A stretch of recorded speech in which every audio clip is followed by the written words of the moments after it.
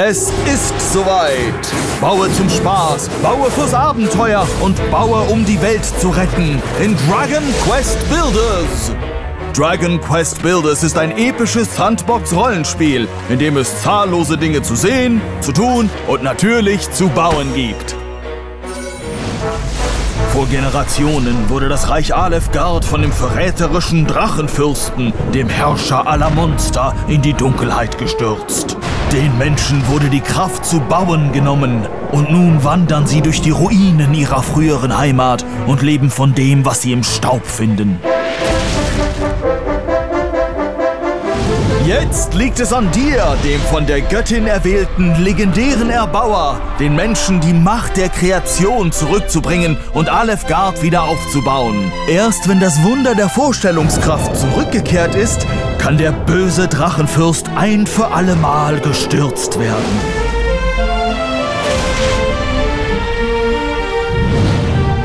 Das weitläufige Reich ist in zahlreiche Inseln unterteilt, jede mit ganz eigenem Terrain, von trostlosen Ebenen bis zur arktischen Tundra und vulkanischen Felsspitzen. In unterschiedlichen Gebieten finden sich verschiedene einheimische Monster und andere Materialien zum Sammeln.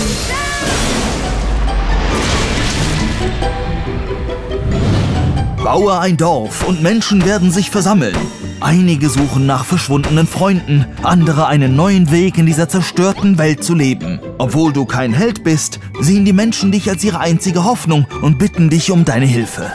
Es liegt an dir, ob du ihnen hilfst oder nicht, aber Aufträge reichen von einfachem Sammeln über die Herstellung von Gegenständen bis zu dem Bau von Strukturen und dem Bekämpfen von Monstern und können zu Belohnungen, neuen Materialien und Anleitungen führen, die dich zu einem noch besseren Erbauer machen.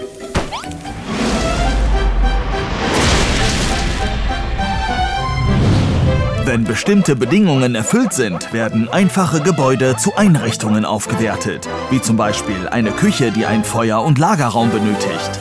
Jede Einrichtung wird auch von den Einwohnern genutzt. Vielleicht kochen sie sogar für dich mit, damit du Proviant für deine Abenteuer hast. Durch das Bauen, Verbessern und Dekorieren deiner Kreationen steigt die Siedlungsstufe, die für den Fortschritt in der Hauptgeschichte wichtig ist.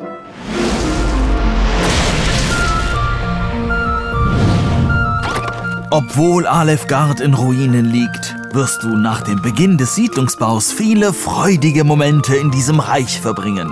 Stelle Artefakte her oder finde sie, um extravagante Häuser zu bauen oder Feldfrüchte und Blumen anzupflanzen. Nutze deine Ernte zum Kochen. Wenn du Fleisch benötigst, gehe jagen oder fischen. Wie wär's mit einer Minenbesichtigung in einem Minenwagen? Ruh dich nach einem aufregenden Tag im Bad aus. Und schlaf dich aus, damit du topfit bist.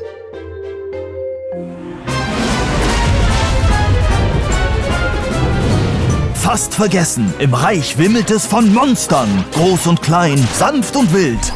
Normalerweise gehen sie ihren eigenen Angelegenheiten nach, es sei denn, du kommst ihnen zu nahe. Bevor du dich diesen Monstern stellst, solltest du sicher gehen, dass du gut ausgerüstet bist. Wenn du es schaffst, sie zu besiegen, erhältst du vielleicht Materialien. Die Monster arbeiten allerdings auch in Gruppen. Wenn sie erst einmal wissen, wo deine Siedlung liegt, greifen sie auf den Befehl des Drachenfürsten hin an. Sorge dafür, dass du genug Verteidigungsmittel für dein Dorf hast, sonst wird es zerstört. Hebe deinen Hammer, legendärer Erbauer. Es ist an dir, wieder Licht nach Alefgard zu bringen, indem du diese Ruinen wieder aufbaust und den Drachenfürsten bezwingst. Dragon Quest Builders erscheint am 14. Oktober. Bestelle jetzt vor und erhalte exklusive Baumaterialien. Anleitung für Frühlingspulver, Anleitung für schleimige Blöcke, Anleitung für goldfarbene Blöcke.